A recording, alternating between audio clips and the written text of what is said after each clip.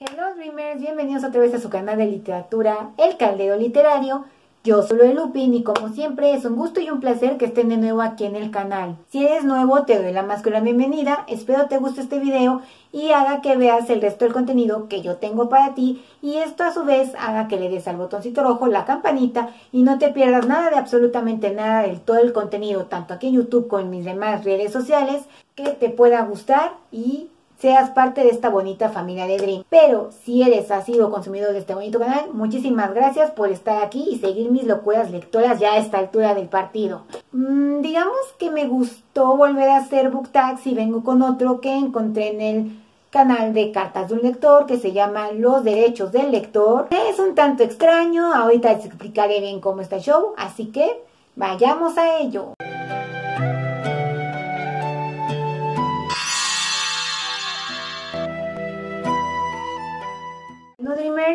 Digamos que aquí tengo mi cuaderno con las consignas y todo lo que les voy a hablar. Son 10 consignas que tienen que ver con los derechos. Se supone que hay como ciertos derechos que nosotros como lectores podemos hacer. No todo tiene que ser muy cuadrado en cuanto a lecturas. Entonces déjenme hablarles de esto un poquito. Ahorita van a ver un poco la dinámica, ¿va? Primer derecho dice, derecho a no leer. ¿Te gustó la adaptación y no has leído el libro? Este es para libros que no has leído, pero sí ya viste su película. ¿Desde cuándo quiero hacerlo y no lo he hecho? Ni porque ahorita está saliendo la segunda parte que ya me vi ayer con mi marido David Tulis, el mismo actor que hace de Lupin en Harry Potter, por si alguien no entiende el concepto. Pero bueno, sale no voy a decir de quién porque sería un spoiler, pero sale David Tulis ahí. Y ni por eso me he leído Enola Holmes, ni por eso. O Sandman, ni por eso me los he leído, ni porque sale David Tulis ahí, tanto en la serie como en la película. Serie Sandman, película de Enola Holmes. Dios, ni por eso. Debería hacerlo, porque la 1, las dos películas han sido buenas. Y de Sandman voy en el episodio 2, no he podido verlos, pero de que quiero hacerlo, quiero hacerlo. Así que, pues ya veremos. Vamos a leer sus libritos. No sé en qué momento de la vida me den chance, pero de que quiero leerlos, quiero leer. Segundo derecho. Derecho a saltarse páginas. Un libro que hayas leído solo buscando lo interesante. Debo de ser honesta con ustedes, Dreamers. Yo nunca hago eso no me salto páginas, yo no soy de la gente que, ay, sí tengo que leer rápido un libro y me voy a saltar páginas, o me está pareciendo aburrido y no me salto páginas. ¿Para qué me salto las páginas si me está pareciendo aburrido? Deja el libro y se acabó, ¿no? O sea, por algo no te está gustando, tienes que tener más vida para leer libros, para disfrutar, para todo este show. Entonces, un libro con el que hubiera podido hacer perfectamente esto, de saltarme páginas y no hubiera perdido nada, es Makeover Extremo, escrito por Dan Wells esta es una historia que nos habla, no entendí muy bien la sinopsis, porque la sinopsis nos dice que es como una crítica a todas estas industrias cosméticas. Pero el libro nos habla de una cosa un tanto diferente. El libro nos habla de algo un tanto diferente. Porque se supone que esta es la historia de un químico que trabaja con una de las más importantes cosméticas de Nueva York. Resulta que se les ocurre, bueno, a él se le ocurre hacer como una modificación al ADN, un una crema que tú te pones y puedes tener el ADN de quien tú quieras, o sea, ellos te dicen, tenemos diferentes modelos, o sea, no concuerda un poco la situación, son diferentes modelos, tú te pones el que tú quieras, pero si uno quiere de ellos y que otra persona, pues no sé muy bien, pero bueno, el caso es que se vuelve todo un caos, el baboso mezcla su ADN con la crema y hay un montón de científicos, o sea, un montón de personas que se parecen a él, luego se crea como una guerra mundial bacteriológica o something. Después de todo empiezan como que la pelea de que hemos deshacernos de esto, pero a la vez no. Duro y dale con la misma situación. Tenemos que destruir la bacteria y a ver cómo, y pasaban cosas y no lo hacían. Tenemos que destruir la bacteria y no sé cómo. Y resulta que al final, o sea, creo que me hubiera podido saltar 20 mil partes. Mm, al final es muy aburrido y pues la verdad no.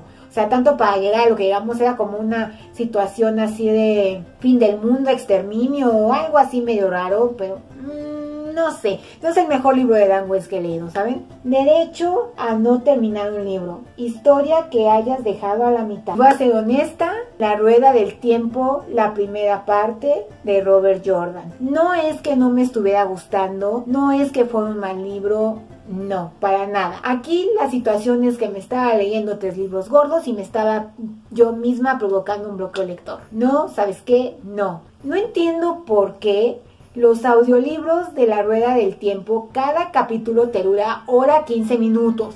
Explíquenme ustedes eso, hora 15 minutos. Y si tú lo lees, es menos de 20 minutos. O sea, dije, a ver, explícame esto. Sí tiene capítulos largos, pero no es como para pasarte una hora leyendo. Creo que tú lo leías muchísimo más rápido, ¿no? El caso es que el ser muy denso, capítulos largos, me estaba provocando un bloqueo lector. Pero no es porque fuera malo, sino simplemente el hecho de que me estaba bloqueando. Quiero leerlo en otro momento. Creo que no era el momento para hacerlo, entonces ahí va. Cuarto derecho, derecho a releer. Libro que más haya releído. Tengo dos. Sí, Mujercitas, Mujercitas y Harry Potter 3. Yes. Este, mmm, ¿qué será? Lo he leído unas siete veces. O sea, la primera vez, una segunda vez que lo leí por mi cuenta y las cinco veces que a partir de 2018 lo he leído. Sí. Y este lo he leído unas 12 veces completas. Yes, yes, yes. Sí. Bueno, no sé si cuente. Ahorita les voy a hablar de este en otra consigna, entonces, yes. Sí, derecho número 5. Derecho a leer cualquier cosa. Un libro con muy buenas críticas y que no te haya gustado nada. Lo siento mucho, no puedo evitarlo. Sí. Sabemos la historia con la canción del lobo de TJ Klune. Sabemos la situación de que me tardé. A mucha gente le encanta. Sorry, not sorry. Que no ven lo tóxico de esto. Por Dios, es un niño y está enamorado de una persona joven. Un chico de 17 años, es un niño de 11 con una persona de 17 años. Hola, hello, ¿alguien me explica eso?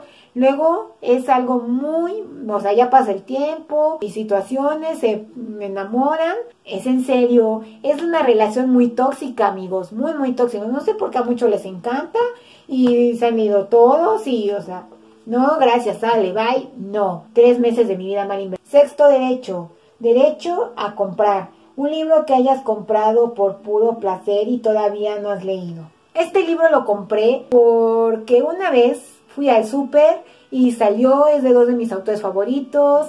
Dije sí, pero todavía ni siquiera lo he agarrado para leer. Estoy hablando, estoy hablando de, y si fuéramos nosotros de Becky Albertalli y Adam Silvera, dos de mis escritores favoritos. Saben que de Becky amo Simón, Homo sapiens Allenda, y saben que de Adam me salvó la vida y recuerda aquella vez. Se supone que me emocioné, todo muy genial, dije sí, vamos a leerlo. Se supone que fui al súper a hacer la compra de la semana y terminé con un libro. Hola, hello, eso es lo que pasa cuando vas a Walmart. terminé con un libro. ¿Lo he leído? No. Ya está, ya salió la segunda parte, ¿la vas a leer? No sé, todavía no lo sé, o sea, pero tengo ganas, o sea, es un libro que quiero leerme sí o sí, o sea, dos de mis escritores favoritos, ¿qué más se puede pedir? Y libro LGBTQ+. 7. Derecho a leer en donde sea, el lugar más peligroso donde hayas leído. No es que sea peligroso, no para nada, no es peligroso, simplemente lo que hizo peligroso el asunto fue el libro. Les estoy hablando de Labios de Camín de Ramón L. Morales. Si ustedes me siguen desde los Senantitos, bueno, 2018, saben qué onda con este libro. O sea, en primera, ¿quién en su sano juicio, o sea yo, se le ocurre ir en el metro leyendo esto? Háganme ustedes el favor. Todo el mundo se me quedaba leyendo. Y de hecho, una señora pensé que me iba a golpear o me iba a decir algo. En serio, no estoy jugando. Estaba sentada enfrente de mí y se me quedaba viendo como si me fuera a regañar. Así con cara de pocos amigos. O como diría mi hermana, cara de huele pedo así de, así, ¿qué onda con tu vida, hija? O sea, sí, o sea, yo me quedé así ¿what? iba leyendo y la señora se me quedaba viendo así como, ¿qué onda con tu hija sacrílega? Se los juro, tres veces se persinó la doña. Se los juro. Yo venía saliendo del trabajo, muy tranquila, sin novedad, me llevé el libro en el metro, yes, la doña me iba a golpear, por eso digo que era peligroso. Estas portadas son muy peligrosas, amigos, en serio. No fue el metro, fue el libro. Octavo derecho, derecho a hojear un libro, un libro que revisas constantemente. ¿Se acuerdan que les dije que iba a agarrar otra vez Harry Potter 3? Sí, este libro. Este libro me salva la vida en muchas ocasiones. ¿Por qué? Porque es de, estoy aburrida, no sé qué leer, necesito sabiduría lectora o algo por el estilo. Busco las partes de mi marido Lupin. Ahora va a ser más fácil, porque todo lo rosita son partes de mi marido Lupin. Entonces, sí. Entonces agarro las partes de mi marido Lupin, las leo y son vida, son felicidad, son amor. Y ah, me, me alegran la vida las partes de mi marido, ¿saben? Entonces, yes, yes, yes, yes. Qué bonito, ¿no? Entonces, no leer en voz alta. Un libro que te guste leer en voz alta. No tengo como tal un libro que yo lea en voz alta, no. Pero sí me gusta leer en voz alta. Hay veces que estoy sentada y estoy leyendo en voz alta.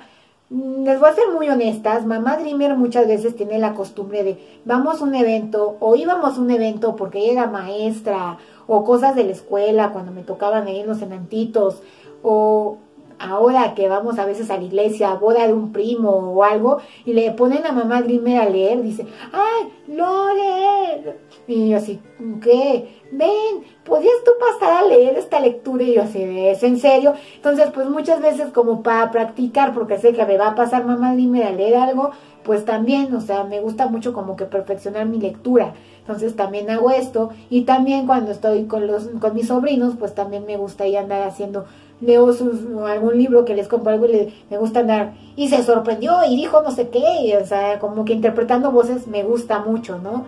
Eso es muy bueno. Ahorita que también estoy con el club de lectura y yo leo lo que escribo ante todos los miembros, pues también me gusta estar perfeccionando lo que leo.